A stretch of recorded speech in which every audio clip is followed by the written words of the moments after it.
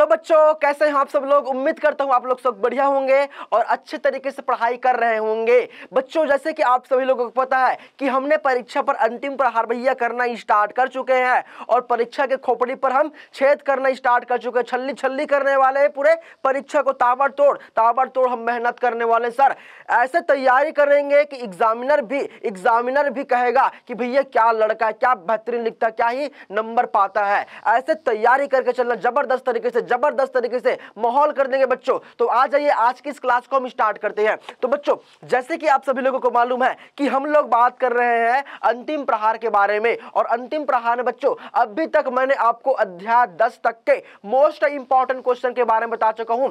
साथ ही साथ उसको कैसे पढ़ना है, कैसे देखना है, कैसे आपको पीडीएफ मिलेगा, सारी चीज़ों के बारे में मैं आपको क्लियर करा दिया हूँ। अगर किसी बच्चों को हो रहा है डाउनलोड करने में दिक्कत पीडीएफ नहीं मिल रहा है तो उन बच्चों से मैं कहना चाहता हूँ कि जो हमारे ऑफ़िस वाला नंबर है, उस पर आप एक बार कॉल कर दीजिए। पर्सनल आपको व्हाट्सएप भी कर दिया जाएगा।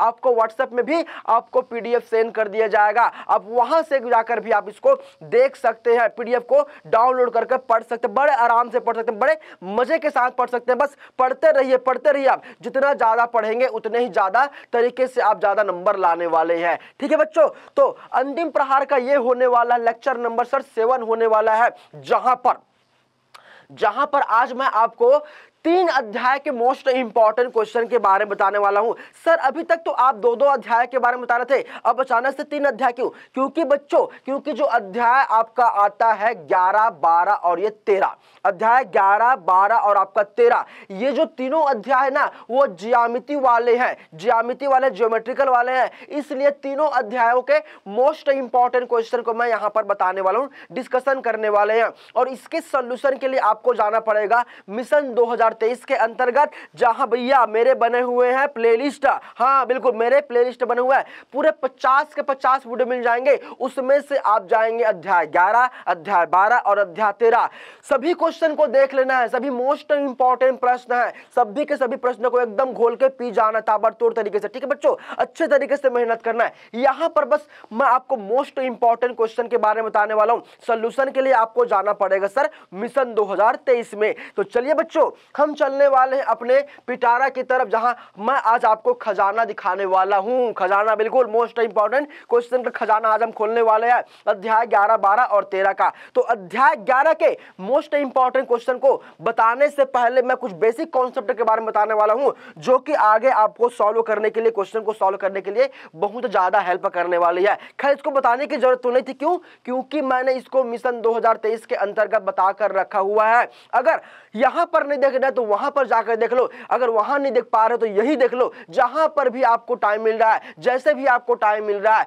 जहाँ पर भी आपको देखना देखे लेकिन पढ़िए, बस पढ़ते रहिए, ठीक है? चलिए तो कुछ चीज़ों के बारे में हम जानना चाहेंगे, और यहाँ पर दिख चुका है आपको एक स्क्रीन पर लिखा हुआ कुछ। सर, यहाँ पर क्या लिखा हुआ है? सर, यहाँ पर लिखा हुआ समरूपता। क्या लिखा हुआ है? सर, यहाँ पर समरूपता लिखा हुआ है। सर, इस समरूपता क्या होते हैं? चलो, एक बार इसको पढ़ते हैं, बेहतरीन तरीके से पढ़ते हैं। देखो।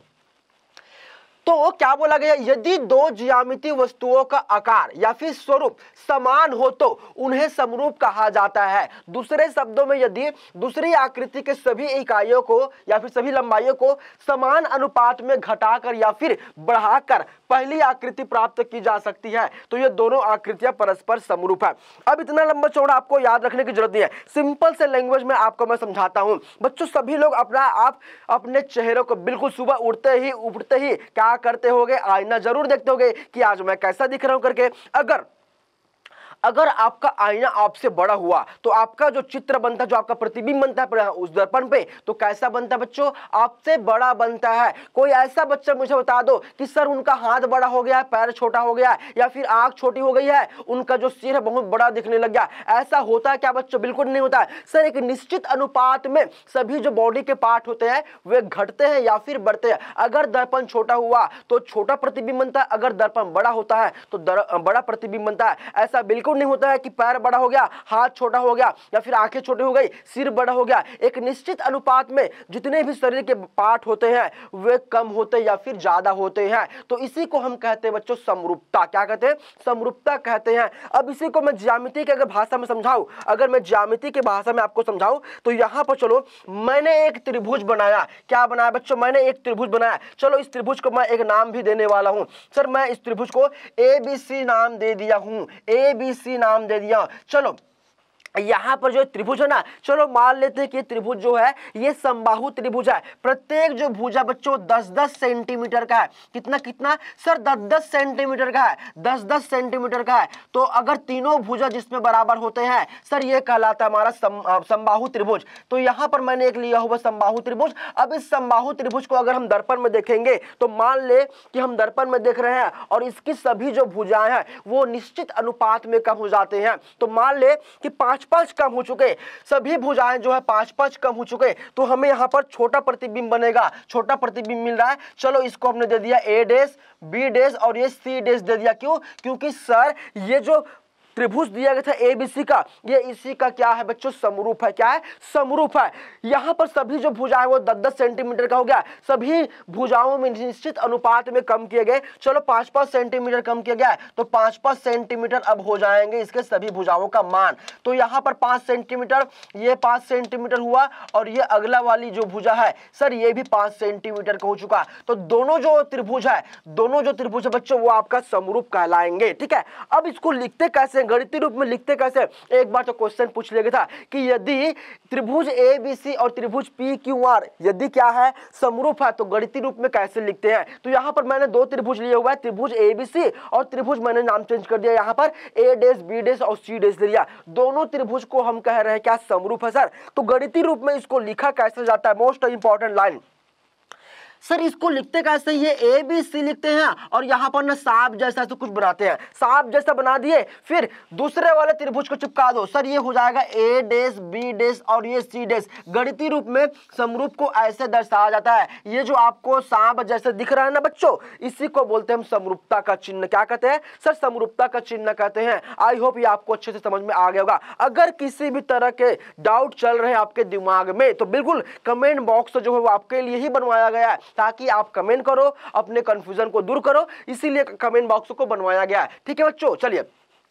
सर, समरूपता को आपने समझा दिया और कुछ बताने वाले का बिल्कुल बिल्कुल मैं आगे की कहानी में और आपको कुछ बताने वाला हूँ। यहाँ पर अगली स्लाइड में देखो, आपको देखने के लिए मिल रहा है, सर स्केलिंग क्या देखने के लिए मिल रहा है? सर स्केलिंग देखने के लिए मिल रहा है। अब ये स्केलिंग क्या होता है? चलिए।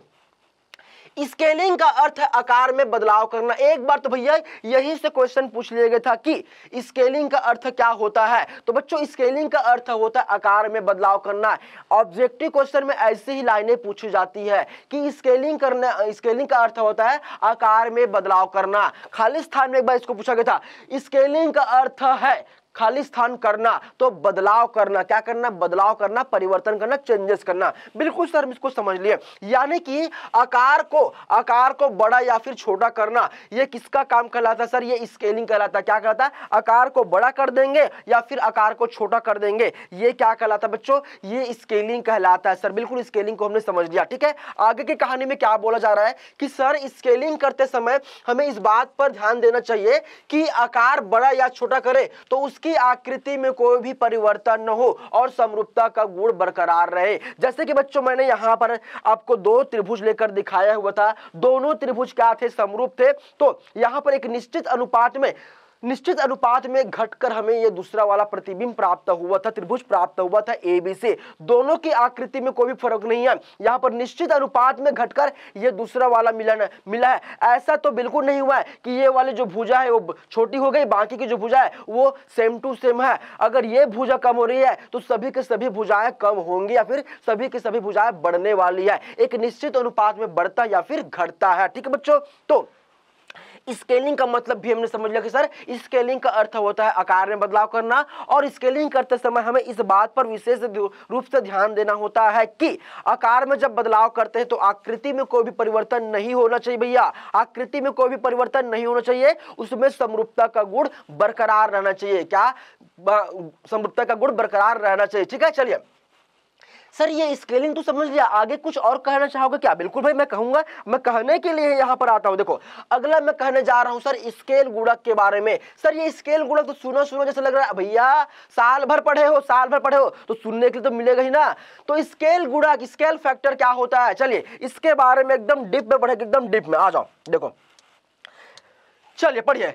तो दो समरूप आकृतियों के माप में विशेष अनुपात होता है, जिसे स्केल गुणक कहते हैं। स्केल गुणक का उपयोग करके किसी आकृति को आवश्यकता अनुसार निश्चित अनुपात में बड़ा या छोटा किया जा सकता है। बच्चों, इसका सिंपल सा उदाहरण है। हमारा जो छत्तीसगढ़ है, बहुत बड़ा राज्य है, बहुत विशाल राज्य बच्चों। लेकिन उसको हम मैप में, ये छोटे से मैप में ना, उसको दिखा देते हैं। इतने बड़े छत्तीसगढ़ राज्य को छोटे से मैप में कैसे दिखा पाते हैं? तो इसका रीजन है सर स्केल गुड़क स्केल गुड़क की सहायता से हमने क्या किया? बड़े से छत्तीसगढ़ जो हमारा राज्य है, उसको एकदम छोटे से छोटे से हम मैप में दिखा देते हैं। ये कह जाता है बच्चों हमारा स्केल गुड़क ठीक है? अब देखो, चलो इसको हम ज्यामिति के अनुरूप समझते हैं। देखो क्या बोला था कि दो समरूप आकृतियों के माप में विशेष अनुपात होता है? तो दो समरूप आकृति बना लेते चलो मैं त्रिभुज के बारे में ही बात कर लेता हूँ। दो मैंने यहाँ पर बना दिए त्रिभुज। दो मैंने बच्चों, दो त्रिभुज बना दिया अभी तो फ़िलहाल एक ही बनाए अभी एक ही बनाए ठीक है?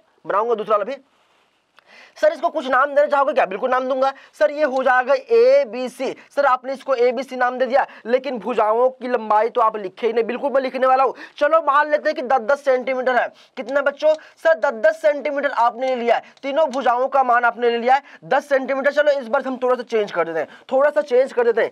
नहीं, चलो, कोई चेंज नहीं करेंगे। समझाने के लिए सरल तरीके से समझाऊँगा, ठीक है? दस दस सेंटीमीटर मैंने कर दिया बच्चों। सर, आपने दस दस सेंटीमीटर तो सभी भुजाओं को कर दिया लेकिन आप दो त्रिभुज दो त्रिभुज बोल रहे थे, एक ही त्रिभुज बनाओ।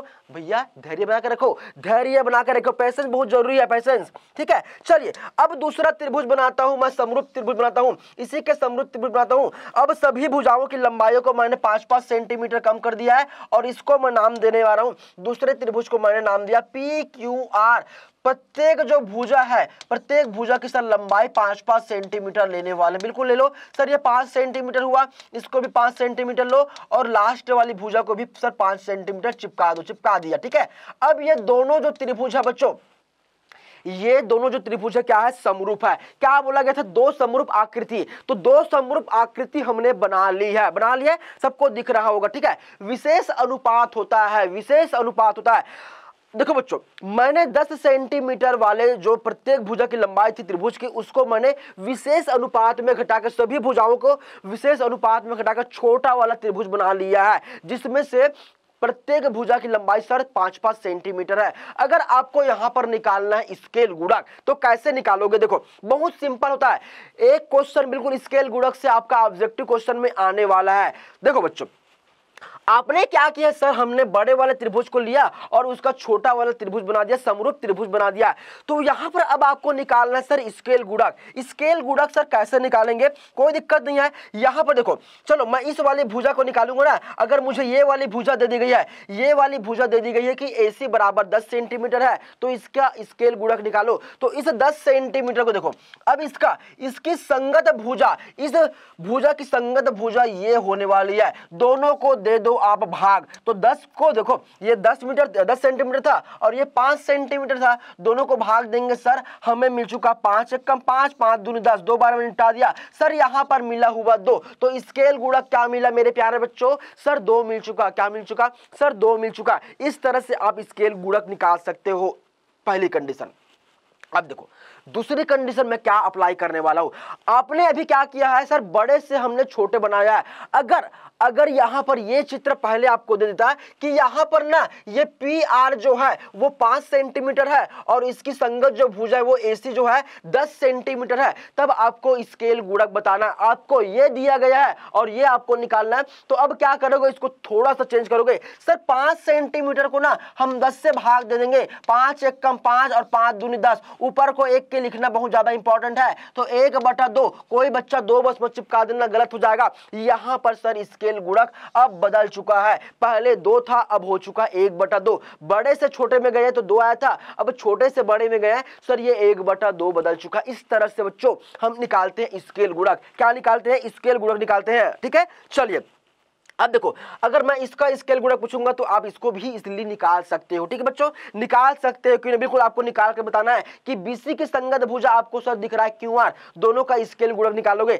ये दिया है तो ये निकालोगे तो दस को पाँच से भाग दे दोगे। अब ये दिया रहेगा, इसको निकालोगे तो पाँच को दस से भाग दोगे तो एक बटा दो आपको मिल जाएगा। इस तरह से हमने स्केल गुणक को भी समझ लिया। तीन कॉन्सेप्ट मैंने बता दिया, यहीं से आपके ऑब्जेक्टिव क्वेश्चन पूछे जाते हैं। अब डिस्क्रिप्टिव टाइप के क्वेश्चन सर कहाँ से आएँगे? अब मैं अपना खजाना खजाना खोलने वाला हूँ आप लोगों के लिए और ये खुल चुका है आपका, सिम सिम खुल चुका है आपका अध्याय ग्यारह का मोस्ट इंपॉर्टेंट क्वेश्चन चलिए यहाँ पर मैं लिख देता हूँ अध्याय ग्यारह। ये अध्याय भैया ग्यारह का है, अध्याय ग्यारह। कंफ्यूज बिल्कुल नहीं होना है, चलो। यहाँ पर मैं लिख देता हूँ, ये अध्याय ग्यारह के मोस्ट इंपॉर्टेंट पाँच क्वेश्चन है। इसके अलावा और भी क्वेश्चन है, आपको मिशन 2023 के अंतर्गत मिल जाएगा। एक भी क्वेश्चन का मैं आंसर नहीं बताने वाला हूँ। सभी क्वेश्चन को मैंने करा कर रखा हुआ है। पहला क्वेश्चन आधारभूत समानुपकता, प्रमेय या फिर थेल्स प्रमेय। Most important ten star ten star देखो छापो इसको। टेन स्टार लगा के रखे रहो। एक और जो क्वेश्चन आता है सर ये पाइथागोरस प्रमेय होता है। पाइथागोरस प्रमेय को 2022 में पिछले साल ही पूछ लिया गया था। तो इस साल पूछे जाने के चांसेस कम बनते हैं, लेकिन पूछ देगा तो क्या है? पूछ देगा तो क्या है? यहाँ पर मैं इसको शामिल नहीं किया हूँ, लेकिन मिशन 2023 के अंतर्गत आपको मिल जाएगा। पाइथागोरस प्रमेय भी। तो दोनों प्रमेय मोस्ट इंपॉर्टेंट होने वाला है। थेल्स प्रमेय के टेन पर टेन स्टार लगा के रखना। तो आपका जो पाइथागोरस प्रमेय ना, वो सेवन स्टार लगेगा। कितना? सेवन स्टार क्योंकि ये पिछले टाइम पूछा गया था तो थोड़ा सा कम चांसेस बनते हैं इस साल पूछने के। लेकिन ये थेल्स प्रमेय आप डन करके लिख लो, लिख कर ले लो कि बच्चा ये मिलने वाला है, आपके एग्ज़ाम के पेपर में मिलने वाला है। ये पाँच क्वेश्चन पहले करोगे, उसके बाद मिशन 2023 में दो तीन और क्वेश्चन है, उसको भी आप देखकर पढ़ लोगे। अगर आपको लगता है कि वीडियो देखने के टाइम नहीं सर नोट्स दे दो। तो डिस्क्रिप्शन किस लिए बना भैया? डिस्क्रिप्शन बॉक्स में जाइए ना। डिस्क्रिप्शन बॉक्स में जाइए। वहाँ पर इसका पीडीएफ पीडीएफ भी मिल जाएगा। मेरा, मैं खुद लिखा हूँ। एक एक वर्ड को मैं लिखा हुआ हूँ। वहाँ पर एकदम सजा कर मैं लिखा हूँ। अलग अलग कलर का यूज़ किया हुआ। एकदम बहुत बेहतरीन तरीके से आपको समझ में आ जाएगा। पीडीएफ को देखकर पढ़ लीजिए बच्चा। ठीक है? चलिए। सर, आपने अध्याय ग्यारह के तो मोस्ट इंपॉर्टेंट क्वेश्चन को तो बता दिया। अब और कुछ कहना चाहोगे क्या? तो बच्चों, मैं तीन अध्याय के यहाँ पर मोस्ट इंपॉर्टेंट क्वेश्चन को बताने के लिए आया था। अध्याय ग्यारह का काम तमाम हुआ तो अब पहुँचेंगे अध्याय बारह की तरफ़। और ये अरे अच्छा अध्याय बारह अच्छा। अध्याय बारह के मोस्ट इंपॉर्टेंट क्वेश्चन को बताने से पहले यहाँ पर भी कुछ बेसिक कॉन्सेप्ट है, जिसको जानना बहुत ज़्यादा ज़रूरी है। मैं एक चीज़ को नहीं पढ़ूँगा, नहीं बताऊँगा भैया। क्यों? क्योंकि ये सब चीज़ मैंने यार मिशन 2023 के अंतर्गत करा कर रखा है ना भैया। वहाँ पर जाकर देखो ना यार। देखो ना एक बार मिशन 2023 को जाकर देखो। हर एक चीज़ों को मैंने यहाँ पर बताकर रखा हुआ अगर किसी बच्चों को लगता है कि, सर स्क्रीन लेने दो तो बिल्कुल ले लो। हेले चलो स्क्रीनशॉट ले लो। हर एक चीज़ को आपको समझना पड़ेगा। ये थ्योरी जो मैं इसलिए बता रहा हूँ क्योंकि क्योंकि इसी थ्योरी से ही आपका ऑब्जेक्टिव क्वेश्चन बनता है। ऑब्जेक्टिव क्वेश्चन जो है, इसी से आने वाला है। तो ये थ्योरी को अच्छे से पढ़ लो। पढ़ना नहीं है, समझना है। और समझने के लिए मिशन 2023 के अंतर्गत जो प्ले लिस्ट बना हुआ है, कक्षा दसवीं विषय गणित का, वहाँ पर जाइए, समझिए और इसको याद कीजिए, समझिए जैसा भी है, इसको अच्छे से समझ लेना। ठीक है, चलिए। तो ये हो चुका वृत्त वृत्त का केंद्र, वृत्त की परिधि, वृत्त की त्रिज्या, वृत्त की जीवा, वृत्त का व्यास, ठीक है? चलिए, कुछ और चीज़ें दी गई है क्या सर यहाँ पर? हाँ बिल्कुल दिया गया वृत्त की छेदक रेखा। वृत्त की सर छेदक रेखा दिया गया जब कोई रेखा एक वृत्त को अलग अलग बिंदुओं पर प्रतिच्छेद करती है तो उसे छेदक रेखा कहते हैं। इसका क्या मतलब होता है बच्चों? चित्र की सहायता से मैं ज़्यादा अच्छे तरीके से आपको समझाता हूँ। जब कोई रेखा एक वृत्त को। तो सबसे पहले हम यहाँ पर बनाएँगे एक वृत्त। देखो बच्चों, मैंने यहाँ पर एक बनाया हुआ है वृत्त। क्या बना दिया भैया? सर, आपने बना दिया वृत्त। ये होता है वृत्त का केंद्र।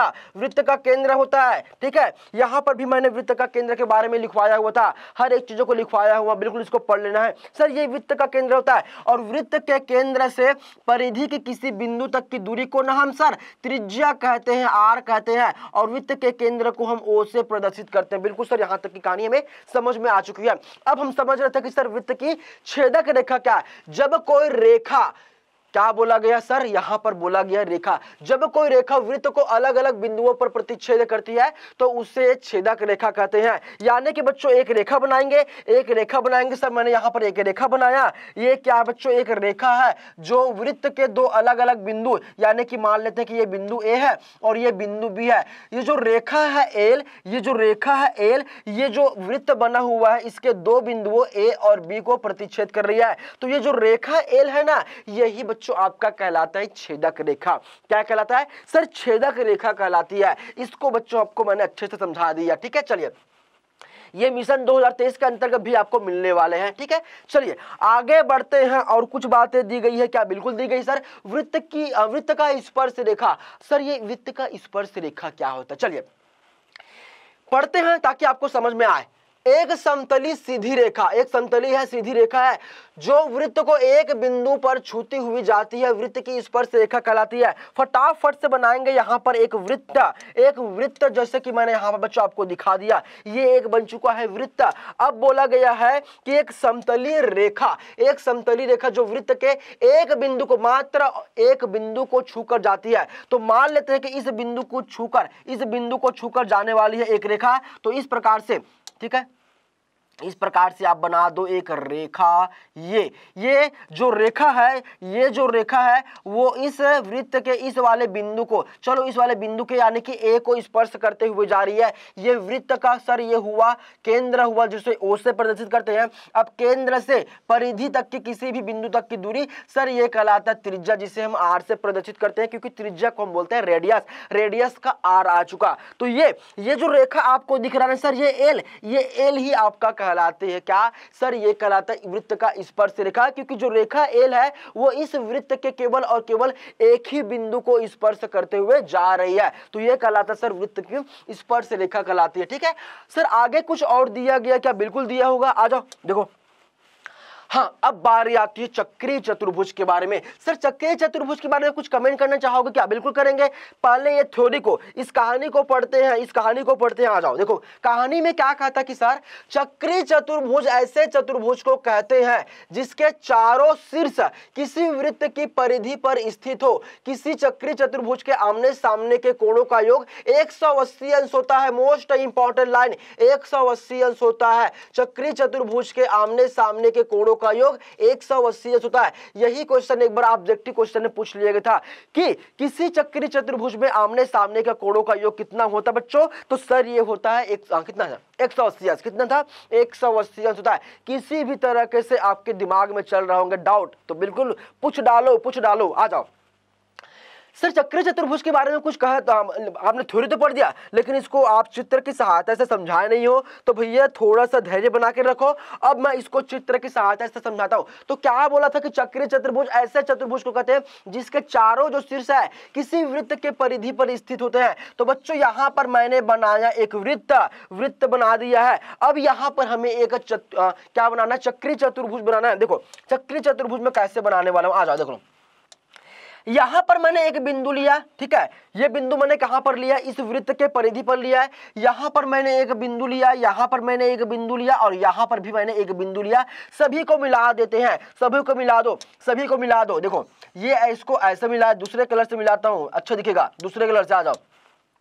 इसको ऐसे मिला दिया, ठीक है? इसको मिला दिया अब अब इसको ऐसे मिला दो, सर, इसको भी मिला दिया अब क्या करेंगे? इसको इससे मिला दो। ये सर मिल चुका।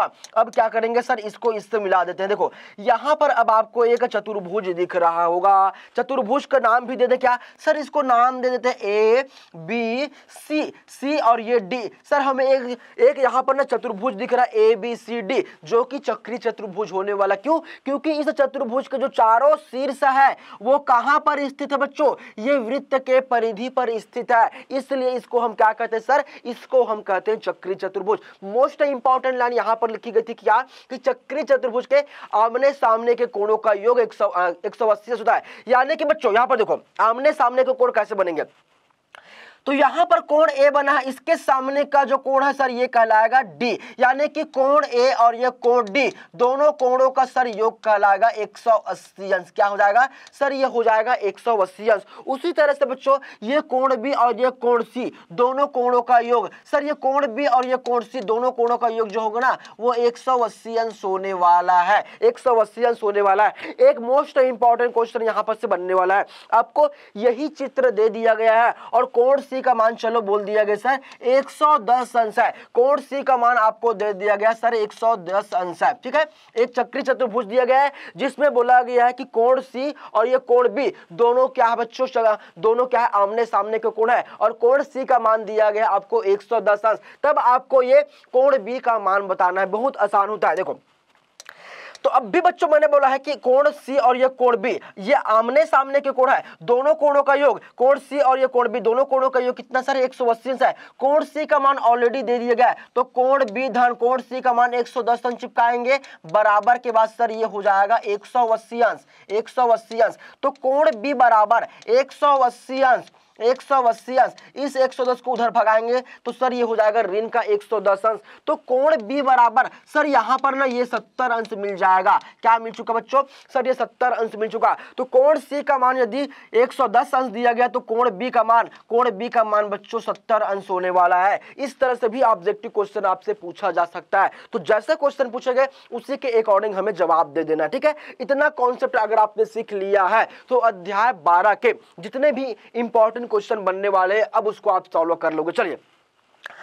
अब मैं जाने वाला हूँ अध्याय 12 के मोस्ट इंपॉर्टेंट क्वेश्चन की तरफ़। खजाना अब मैं फिर से खोलने वाला हूँ। तो बस स्क्रीनशॉट लेने के लिए तैयार रहिए। स्क्रीनशॉट लेने के लिए तैयार रहिए। और ये खुल चुका है आपका अध्याय 12 के मोस्ट इंपॉर्टेंट क्वेश्चन थोड़ी दूर रुक जाइए। थोड़ी देर रुक जाइए। पहले मैं लिख देता हूँ। फिर इसको आराम से बड़े बड़े आराम से स्क्रीन लेना। ठीक है? ये सर हो चुका अध्याय बारह। अध्याय बारह का मोस्ट इंपॉर्टेंट क्वेश्चन बिल्कुल इसको स्क्रीन ले लो। वॉल लगा लो वॉल अपने फ़ोन का वॉलपेपर बना लो इसको। ठीक है? चलिए ले लिए।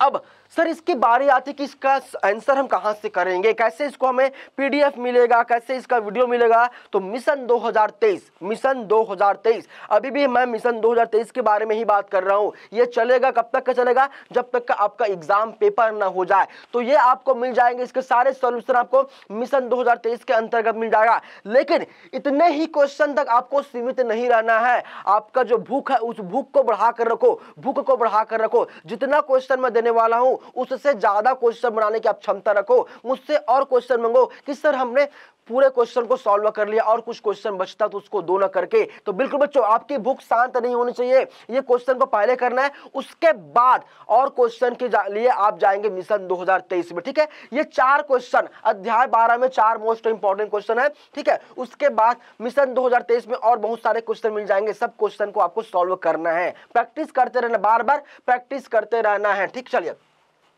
सर, अध्याय बारह के बारे में बता दिया। और अध्याय तेरह के बारे में कुछ कमेंट नहीं करोगे क्या? उसी के बारे में तो बात करने के लिए आया हुआ हूँ। और ये फिर से आपका खजाना खुल चुका है। इंपॉर्टेंट क्वेश्चन के खजाना आपका यहाँ पर दिखने वाला है। ये अध्याय तेरह का। दो मिनट रुक जाओ स्क्रीन लेने के टाइम दूँगा मैं। सर, ये अध्याय तेरह का होने वाला है। अध्याय तेरह सबसे इजी चैप्टर होता है। अध्याय तेरह में ना कोई भी फॉर्मूला वगैरह कुछ भी नहीं आता है। यहाँ पर करना क्या रहता है? जो प्रश्न में दिया गया उसको पढ़ना है और जो जो बोला गया उसी को करते हुए चलना है। और जो करते जाते हैं, उसी को हम लिखते जाते हैं रचना के पद में। मोस्ट इंपॉर्टेंट है पाँच नंबर। ये चारों क्वेश्चन को आपने कर लिया मात्र चार क्वेश्चन और पाँच नंबर पक्के। चार क्वेश्चन और पाँच नंबर पक्के। और ये चारों क्वेश्चन को करने का तरीका मैंने मिशन 2023 के अंतर्गत बताया हुआ है। बिल्कुल प्लेलिस्ट बनी हुई आप ही लोगों के लिए बनाकर सजाया गया है। उसको जाकर आप एक बार देखिए तो सही। एक बार विज़िट तो करिए। मज़ा आ जाएगा, आपको मज़ा आ जाएगा। ठीक है? तो सर, यहाँ पर आपने चार क्वेश्चन बता दिया। ठीक है? देखिए, यहाँ से बच्चों, हमेशा क्या होता है? आपको आपको दो प्रकार के क्वेश्चन पूछे जाते हैं। दो तीन प्रकार के। ठीक है? तीन प्रकार के कैसे? पहला होता है आपका अंत वृत्त की रचना कीजिए। दूसरा होता है आपका परिगत वृत्त की रचना कीजिए। दोनों से दोनों से क्वेश्चन पूछे जाते अगर अंत वृत्त से पूछेगा तो परिगत वृत्त से नहीं पूछेगा। अगर परिगत वृत्त से पूछा तो अंत वृत्त से नहीं पूछेगा। चूँकि ये पाँच नंबर के लिए आते हैं इस अध्याय से, पाँच नंबर के क्वेश्चन पूछे जाते हैं। तो अथवा में रहते हैं तो पहले प्रकार के क्वेश्चन में क्या रहेगा? या तो अंत वृत्त की रचना कीजिए, या फिर परिगत वृत्त की रचना कीजिए। और दूसरा टाइप के क्वेश्चन में, यहाँ से क्वेश्चन पूछा जाता है, यहाँ से। यहाँ से क्वेश्चन पूछा जाता है। ये मोस्ट इंपॉर्टेंट प्रश्न को समझा दिया एक और प्रश्न आपको मिलेगा मिशन 2023 के अंतर्गत। उसको भी कर लेना है। पहले इन प्रश्नों की तैयारी करेंगे। बाकी बाकी जो मिशन 2023 में करवाया हुआ हूँ, उसको भी देख लेना है। ठीक है बच्चों? तो आज की इस क्लास में मैंने आपको अध्याय आपका ग्यारह, बारह और तेरह। तीनों अध्यायों के मोस्ट इंपॉर्टेंट क्वेश्चन को बता दिया है। मैंने तीनों को एक साथ इसलिए करवाया हुआ है क्योंकि ये जियामिति वाले हैं। थोड़ा सा ज़्यादा मेहनत कर लेना है। दस घंटे की बजाय आप पढ़ लोगे, बारह घंटे तो दिक्कत क्या है? एक चैप्टर पहले से आप एक दिन पहले तैयारी कर लोगे तो ये तो और अच्छी बात है। आगे और आपको सहूलियत होने वाली है। ठीक है बच्चों तो आज के इस क्लास को हम यही ओवर करते हैं। लास्ट क्लास में, यानी कि इस क्लास में मैंने आपको अध्याय तेरह तक के मोस्ट इंपॉर्टेंट क्वेश्चन के बारे में बता दिया। अब नेक्स्ट क्लास में मैं आपको वापस से तीन अध्याय के मोस्ट इंपॉर्टेंट क्वेश्चन के बारे में बताने वाला हूँ। ऐसा मैं नहीं करूँगा, पहले अध्याय दो का, फिर अध्याय, फिर लास्ट वाले का, ऐसा नहीं करूँगा। मैं अब तीनों अध्यायों का एक साथ एक साथ मोस्ट इंपॉर्टेंट क्वेश्चन को बताने वाला हूँ, ठीक है? तब तक के लिए आप क्या करेंगे? जो मैं अभी तक आपको मोस्ट इंपॉर्टेंट क्वेश्चन बता चुका हूँ, उसको बार बार प्रैक्टिस करना है। एक बार नहीं बार बार उसको प्रैक्टिस करना है। तो बस प्रैक्टिस करते रहिए बच्चों। आज की इस क्लास को हम यहीं पर खत्म करते हैं? अगले क्लास में वापस से मैं अगले तीन अध्यायों के मोस्ट इंपॉर्टेंट क्वेश्चन के बारे में बता दूँगा। तब तक के लिए थैंक यू वेरी मच